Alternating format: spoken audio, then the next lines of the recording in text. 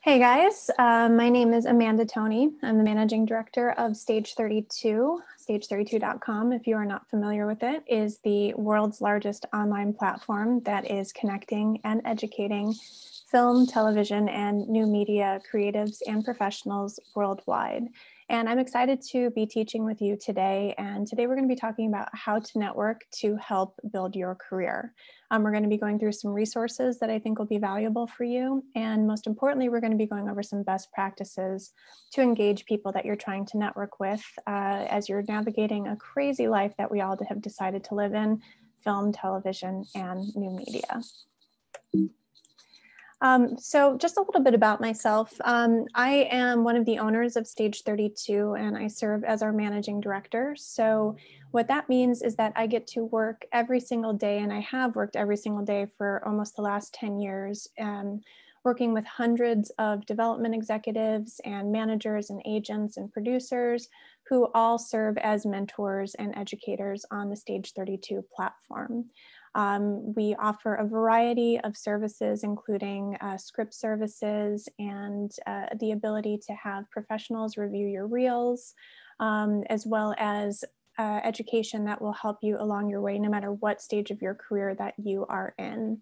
Um, I'm also responsible for our strategic partnerships. So we are very proud to be the partner of Raindance Film Festival. This is now going on our fifth year. Um, we love everybody over at Raindance. And so hopefully you're enjoying the festival and uh, we, we look forward to continuing our relationship with them. Um, in addition to my day-to-day -day with Stage 32, I'm also a film and television producer. Um, I produced my first film, which uh, hit theaters last year, starring Rumer Willis and Emma Dumont, called What Lies Ahead. And uh, I also had a film that I produced in Hungary that premiered last year at Raindance. Um, and in addition, I just sold my first television show to a major US network, um, which we are starting the, uh, the filming next month. So I'm really excited about that. And then I'm out also uh, shopping another uh, TV project that I found the writer and attached a really tremendous showrunner, and we are out pitching right now. So in addition to uh, you know the day-to-day on stage 32 i love to keep busy with the producing side of the industry. And um, what's been great about that is that i've had the ability to network and talk with people all over the world through all of this, the stages that i work in professionally.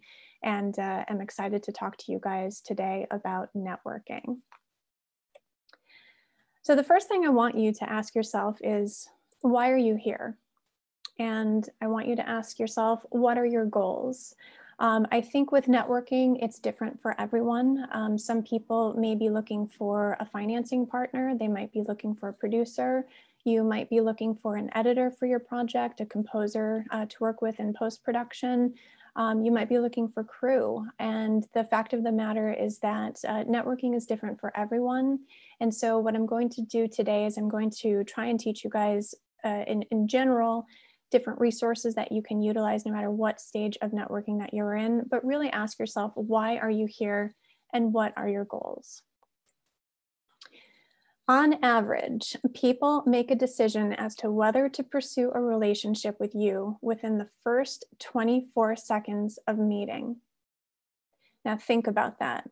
24 seconds you have to make an impression. So, no matter what your purpose is and what you're trying to do in terms of networking, you really have close to a split second to be able to um, capitalize on that relationship that you're trying to build. So, always ask yourself, can this, can I portray myself in the best way possible within 24 seconds? And the other thing I want you to ask yourself is, why you and why now? Because when you're approaching someone for the first time who may not know you, why should you why should that person be giving you their their time their attention and uh, you know time that they could be spending to do something else maybe it's helping you know uh, their kids with their homework or whether it's you know them wanting to dive into a netflix uh, show that they want to watch why you and why now? What makes you important to the person that you're trying to network with? And how can you be of value to the person that you're about to start a relationship with? So I also want you to ask yourself those questions. So let's go ahead and let's start with some resources. I'm going to go through a few things here. Um, how do you find your connections? And we're going to be going over stage 32, and we're going to be going over IMDb Pro. Uh, we'll be going over Cinando as well as Variety Insight. Now, all of these, you guys are, um, all of these are different ways that you can utilize your, um, your computer to be able to network literally with anyone from around the world. And so I like to um, point out these main platforms because I think this is the best way for you to um, really kind of get yourself out there and network as efficiently as possible with people within the industry. Um, all right, so I'm going to start first with stage 32. So one of the great things about stage 32 is that you have the ability to network with over 650,000 professionals and creatives worldwide. So you can uh, go into the browse section here and search all of the stage 32 members from literally all over the world. So whether you're looking for an editor, a composer, an actor, a director, a producer, a financier, it is as simple as going into the browse section and picking who you're looking for and where they are located in the world. And since Stage 32 is a global platform, it doesn't matter what country you're in, we literally have members from all mem from all countries all around the world. So it is as simple as that in terms of getting into uh, browsing within stage 32. And best of all, stage 32 is free. Yes, it's free. So you instantly can connect with people just like that. One of the other great things about Stage 32 is uh, if you're on the professional side or the creative side, one of the greatest things about a Stage 32 profile is that you have the ability to put all of the information about yourself on your Stage 32 profile page. And if you um, you know, if you have photos of uh, photos of things that you have going on, maybe behind the scenes photos or behind the scenes set photos, you can put that in there. If you're an actor, you can put up all of your headshots. You can put up everything that you um, have related to, you know, different looks that you have. And all of it is at a glance on your Stage 32 profile page. Um, in addition, you have your videos section. So if you're a composer, you can put up your, your music. If you're a filmmaker, you can put up your reel. If you're an actor, you can put up your reel. And any type of videos that you want, you can put instantly at a, at a glance on your Stage 32 page. You can put links to every um, all of your social media. Um, maybe you have a blog. Maybe you have other things that you want people to, um, you know, to get in touch with you at. All links are completely available on your Stage 32 profile. So if someone's looking to hire you or work with you, it literally is there at the tip of your fingertips. If you're a writer, which I am definitely not a writer, um, we also have the ability for you to put your log lines in here. And what's really great about that is that we have a whole database of log lines where you can search and look at all different types of genres and budget ranges. So if you're there on the professional side and you're looking for material, you can find your log lines in under the browse section in the log lines page. Oh, I should probably also mention, um, you can also search people's reels also on the videos page. Um, you can also import your IMDb credits in here. So then that way all of your, um, all of your work is, is readily available on your Stage 32 profile. And then what's also really cool about a platform like Stage 32 is that, you know, the, the best thing about it is that this is really creatives and professionals all coming together. And what we do is we try and utilize um, what, what we do is we, we utilize the uh, kind of the fun that you have when you're at a physical festival and you're networking with people and you're in a room and you're getting to meet uh, someone for the first time. We've been able to replicate that in what we call our Stage 32 Lounge. And so we kind of look at this as kind of like a, it's like it's like our version of, of the forums, um, and it's it's almost like a, a, cocktail networking online. And we have all different types of um, we have all different types of lounges that you can go into. So if you're looking for distribution for your film, there's you know over 2,000 conversations about distribution, filmmaking, financing, producing.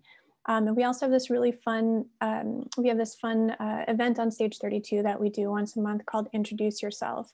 So what's great about that is that people from all over the world come in in the Introduce Yourself Lounge and just tell us about what you're working on and what type of people you're looking to network with. And what's great about that is that we usually have tens of thousands of connections that are made every Introduce Yourself weekend, which is the third weekend of every month. But again, no matter if you're creative or if you're a professional, there is a lounge for you acting, animation, cinematography, post production, transmedia. And we also have private lounges for people who are taking one on one mentoring classes with uh, the executives that we work with inside Stage 32. So it's a great way for you to be social. And one of the greatest things, too, is that we require every Stage 32 member to have a proper first name and last name. So you have to stand in front of yourself and your stage 32 profile. There's no hiding.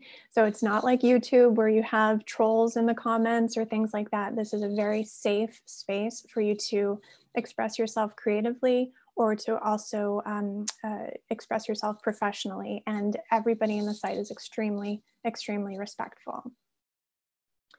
Now, if you're looking to um, advance uh, you know kind of advance your career a little bit more than just the networking side and you're looking to really hone in and get some feedback on your um, in hone in and get some feedback on your projects we have our stage 32 um, development services so our development services are where we work with literally a thousand development executives, managers, producers, agents, financiers, and they come into stage 32 every week and they will uh, review pitches for you if you're working on a pitch for a project.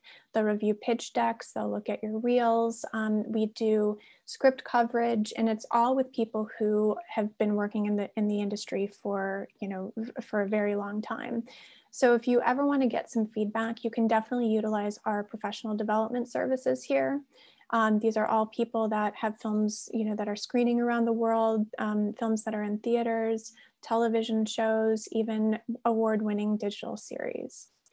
And then in addition, if you are looking to also develop, um, you know, your skills, if you're looking to maybe, if you work in film and you're looking to get into television, you want to learn a little bit about that, or let's say you're a web series creator and you want to make your first feature film, we also have stage 32 next level education. And so our education is the, the best in the industry around the world. We have over 1,200 hours of education that are taught by our mentors. Um, so no matter what it is that you would like to uh, learn, we I can guarantee you we have a webinar or a lab for you. And exclusively, we also bring in top managers and producers who will work one-on-one with you if you are looking to develop a film or develop a script, and we provide all of that through stage 32. So there's just a little bit more um, about our education. And one of the best things too is just, uh, as I talked about this a little bit earlier, is how friendly our community is. You know, um, I think, you know, whether you might be an introvert watching this and, you know, maybe networking scares the shit out of you, it does to a lot of people. One of the best things is that we really do have an incredible incredible community. So if you do start a conversation here, um, any topic is is on point. Anything is is a safe space, and you will notice that you will just get a tremendous outpouring of support, and uh, you know it, it, you'll just get a tremendous outpouring of support from people that are there with you in the Stage 32 community. And so I'm going to move on over to IMDb Pro. Now, IMDb Pro is an amazing database. You know, I, I think uh, most people have this on speed dial when you are researching a project and researching people. Um, I think what's great about IMDb Pro is um, they've recently changed their interface where they're um, feeding in some of the top news. So you're just getting a constant stream of all of the trades like Screen, uh, Screen Daily, um, Deadline, Variety, The Hollywood Reporter. So you have kind of everything at a glance here. And then with their, um, their box office uh, um, uh, section, you're able to see which films are performing each, each uh, weekend. So you kind of know who's at the top and you kind of know what's going on. Um, one of the great things about IMDb Pro is that at a glance, um, it's very easy to get information on IMDb Pro um, about uh, different people that are working on projects. Um, so I'll take, for example, like let's say you do find a company that you do want to network with and you think you have a project that would be great for them. I just picked up Mandalay Pictures just randomly. You'll at a glance have, be able to see very quickly, you know, who is in there, who works for the company, um, you know, who the staff is. So you have an idea of who's working there. Um, if they're a management company, I'll show their clients, box office, obviously, if they have films, and then the, the um, films that they're working on. Um, here's some of the cons. There, there there's a, a, again amazing resource. Highly recommend you um, check it out. They do charge every month, but again, you know, I think this is our industry's most common database that we look at. So some of the cons of IMDb Pro is that a lot of the um, contact information in terms of email addresses are info at. So you're not going to have a lot of direct contact to the executives that you're searching for in IMDb Pro. So um, although it's an amazing database, um, I think that's the biggest con is, is, not, not necessarily that it's a con, but it's, um, it's, it's not a lot of people put their direct contact information in here. Um, and then the other thing about IMDb Pro is that this is a crowdsourced community. So what that means is that people have the ability to put their own um, uh, their own credits up. And this isn't necessarily managed by specific um, there's not like a database that's managing this for the authenticity. So a lot of times on imdb pro you might find that someone may not have all of the credits that they've actually worked on. They've probably worked on a lot more um, but that is because this is a crowdsourced community and it's not hard data. So that's a little bit more about IMDb Pro. Um, in addition, uh, Cinando. So Cinando is a fantastic international resource. This is um, owned and run owned and run by uh, the Marché du Film for the, from the Cannes Film Festival. Um, Stage 32 is a proud education partner of the Cannes uh, Film Festival Marché du Film. And so Cinando is part of that. So when you um, register for Cinando or um, also the American Film Market, you will get access to Cinando for up to one year. I think that this is the best resource for all international film festivals. It'll kind of give you an idea of what's coming up in terms of international um, things that are happening within the community. And then they also do a great job of uh, um, kind of listing all of the upcoming news as well from an international perspective. So I feel like they do a, a tremendous job there in terms of just really honing and, and knowing the international market. Um, you'll get to see, once you're in Cinando, you'll get to see individual people, much like IMDb Pro. One of the things that's great about Cinando is a lot of people that attend can um, tend to uh, be in the Cinando directory. So you will find that there will be more um, specific emails. Uh, I'm not going to I'm going to protect this person's privacy. Um, but if you hover over it, you would get their, their direct emails. Um, and then sometimes people will share their phone numbers as well. Um, but you'll definitely, and even Skype addresses. So you get a little bit more, um, uh, you get a little bit more contact information from people in Cinando. But um, keep in mind, this is primarily international. So if you are also looking at the US market, there aren't as many people that are on the Cinando database.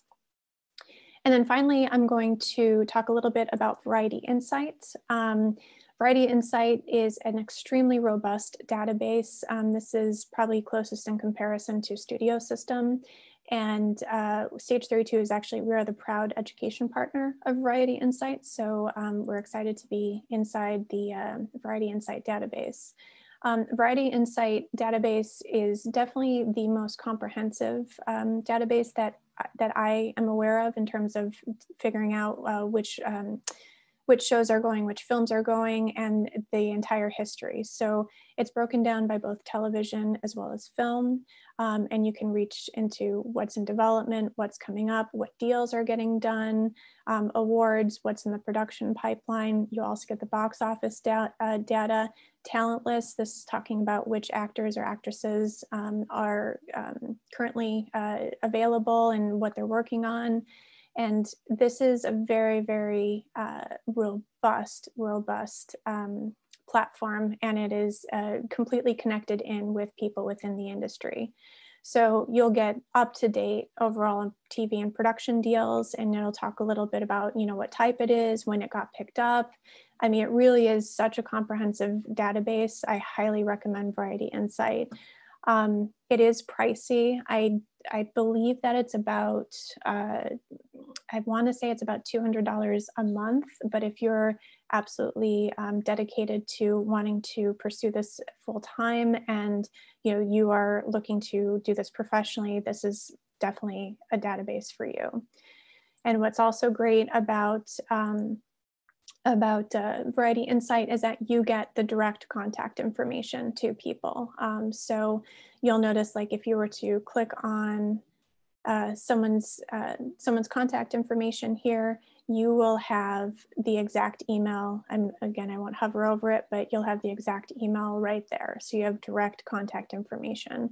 So this is really meant for 100% serious uh, people, 100% serious networking. This is definitely, in my opinion, the most uh, professional database that you can find.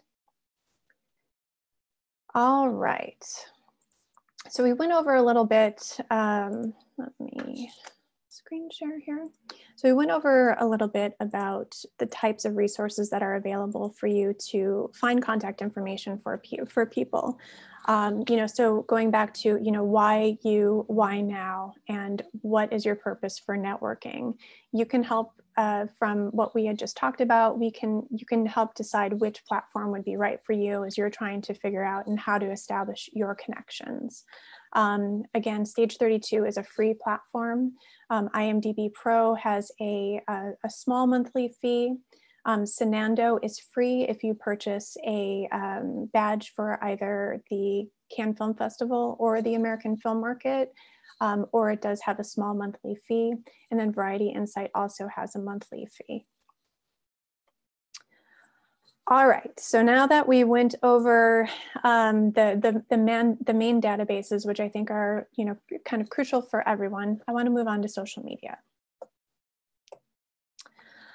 So if you look here on the left-hand side, these are some of the, um, the main social media platforms that you could think of.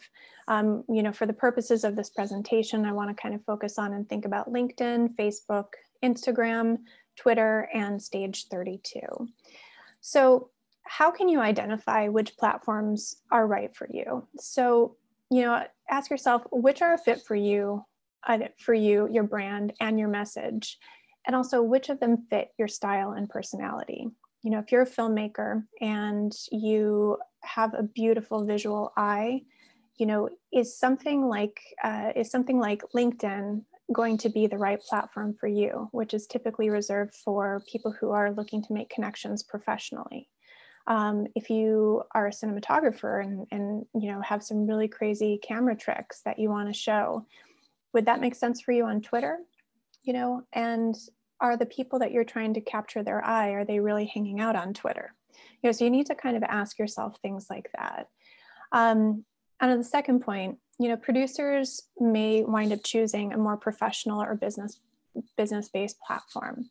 Um, so for example, LinkedIn, you know, we make a joke here on stage 32. We say LinkedIn is where conversations go to die. And the reason for that is because, you know, I, you know, I have a lot of connections on LinkedIn. I'm, like connected to, you know, like limo drivers and, you know, like insurance salesmen. And, you know, at the same time, you know, when I'm looking for material or if I'm looking for, um, you know, something that I'd be interested in producing, I typically don't go to LinkedIn because people aren't hanging out there that I'm looking for. You know, so you, you know, so if, if you, um, you know, on, if you're on a platform and you feel like you're not getting what you need out of it, you have to, you have to literally ask yourself, you know, is this worth your time? you know, it doesn't make sense for a lot of people to be on a lot of platforms. So that's why, you know, if you pull out the different things that matter from each platform, that will be the best thing that will help you decide how you're going to spend your time. You know, and, and going back to things like, um, as I just mentioned, like filmmakers and screenwriters and other creatives may choose more visual platforms. You know, that's where you maybe you maybe want to showcase your talents on something like Instagram. You know, Instagram is a very visual medium and i know tiktok is huge and i know tiktok has you know more followers than you could possibly imagine more videos than you possibly could imagine you know if, if you are looking to network professionally you know you really have to ask yourself is that the right place for you because even though you may be dancing and getting you know tens of thousands of people watching you dance um, or you know do do some things that are funny you know is that really standing out to let's say a producer that you might be wanting to get in touch with to uh, work with you on putting together like your next feature film. And you know, one of the things I talked about too is that you need to choose a platform that is engaging to you so that you won't abandon your efforts. So one of the things is that I'm sure a lot of people have said, okay, I'm going to put in all of my time and my effort and I'm going to get my profile up and I'm going to start posting every day. and you know and the next thing you know like a week goes by and you still haven't posted and the thing is that with uh, the social networks is that you have to have consistency so if you're going to abandon a network don't start yourself on that network to begin with really really when you're going to hunker in you're going to find a platform that's great for you find one that you know that you're going to engage with and one of the things that we say here at Stage 32 is that you have to approach networking as a job. Um, you need to use it as a tool to increase awareness and your branding and to push forward your creative pursuits. And ultimately, it should be fun as well. So, you know, when you're looking at the platforms, you you have to be able to want to be able to do it every day. We say here at Stage 32 that uh, your craft is only 50% of your job. The other 50% is networking. So to kind of sum up a little bit of the platforms that we had talked about here, you know, LinkedIn, um, I, I can't imagine if you're a screenwriter, if you put a, a, message on LinkedIn to say you're having trouble with your third act, I don't think you're going to get a response. So at that point, does it make sense for you to be spending your time on LinkedIn? Whereas if you put a post in the Stage 32 lounge, the screenwriting lounge, and said, hey, I'm having trouble with my third act, you might have uh, writers or producers from all over the world coming in and giving you advice and tips. And then Facebook. Um, you know, Facebook is a lot of fun for memes. I mean, lots of great cat memes and lunches, you know, pictures of lunches and babies and, and all of that. But, you know, again, ask yourself, when you are looking for help from another, uh, from a cinematographer, are you getting the feedback that you really need on a platform like Facebook? Um, Facebook is a really fun platform, but again, if you're asking for what you need professionally, ask yourself if Facebook would be the right fit. Um, Instagram, you know, we see a lot of luck with Instagram. We see a lot of people getting noticed on Instagram, getting involved with conversations. Again, such a great visual medium so that if you are really looking to get yourself out there, highly recommend putting up videos on Instagram. Put up thought-provoking things that um, get, you know, questions that people want to respond to. I think that's an amazing way to use Instagram. In addition, um, you can always search popular hashtags, you know, so if you do hashtag filmmaking, hashtag indie film, hashtag actor, hashtag acting, get involved with conversations and meet other people through Instagram. And then Twitter. Um, Twitter has definitely become uh, a very uh, um, it's it's become a cesspool. You know, there's a lot of really uh, heavy opinions there, and it's um, you know a lot of people with a, a, microphone. And so again, the one thing I would say about Twitter is that if you choose to uh, to network on Twitter, please curate your feed because there's a lot of misinformation on Twitter from people who aren't qualified to teach it. So um, curate your feed so you're getting nothing but positive news and you're getting the right news from people who are accredited and people who, who um, have the uh, professional expertise to be able to be talking about it. Um, and then finally, stage 32. Um, again, stage 32 is for both creatives as well as professionals. And so, you know, if you're looking for a comforting space and if you're looking for a positive space, um, you know, we are the largest social network specifically for film, television, and digital creatives and professionals. So if you are looking for support, you are looking for encouragement, you are looking at a for a way for you to showcase your talents to many people, highly recommend Stage 32 as a great way um, for you to start networking. Um, but again, leaving you with, uh, you know, once you do figure out which platforms are right for you, you have to commit. You really have to commit. There's no sense in being on 10 platforms if you're only using them half-ass. I would pick your maybe top one or two, at most three, and I would put your all into that. But I think that if you're truly going to uh, do well, I would choose two platforms and I would make those platforms be the best indication of for you um, in order to get yourself out professionally. All right, so in terms of how to network, everyone has something to offer when networking. And yes, even introverts do. Um, so how do you start um, getting yourself noticed? Let's talk a little bit about approach. So the one thing that um, I'd highly recommend is to post content that you find engaging. Um, we always say at stage 32 to make sure that you're reading the trades every single day. On some of the resources that I shared with you, you'll get a stream like on, on IMDb Pro or on Variety Insight or Cinando, you'll get a stream of what's happening in the trades. But if you are reading the trades, Deadline, um, Screen, Screen International, um, The Hollywood Reporter, Variety, if you're finding something that is of value, put that up on your social media, share it because if you find something very interesting, chances are that there's going to be people in your world that will also find it interesting. Even if it's something that may not have something to do with the film, television, and new media industry, it could be something that another, um, you know, like another industry has done, but you found it really interesting. Share, share, share. If you were engaged by that content, get it out there and have other people engage with it as well. Um, second thing is to thank others for the content that they posted and pay it forward. You know, you realize that a lot of people do take the time to post things that they found interesting. And so if you are connected with someone on a platform and you find something that they posted of value, thank them for that. It takes two seconds to say thank you. If it's an article, read the article, respond back to them and say, This was a great article. I love how blank, blank, blank. And that is value. So if you may not know someone on social media, that shows that you care about what it is that they posted and you're providing value to that person because you took your time to uh, stop and read something that they also found engaging. So this is a great tool and a great way for you to engage with someone that you may not know. Um, you know, again, it's just really taking the time to respect that that person is, uh, you, you're taking time to respect that person's time that they decided to share that with you. Another thing you can do, the third thing that I could say on um, social media when networking is to ask questions. So, you know, I know it's tough when you start a um, profile somewhere and sometimes you'll you'll write something and it goes into the abyss and no one answers.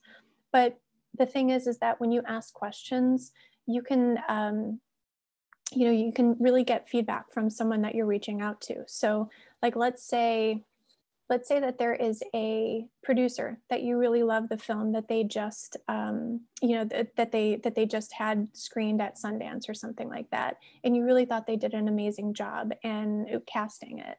You know it takes two seconds for you to contact that person on social media to say like hey jane i really love the casting that you just did in xyz movie.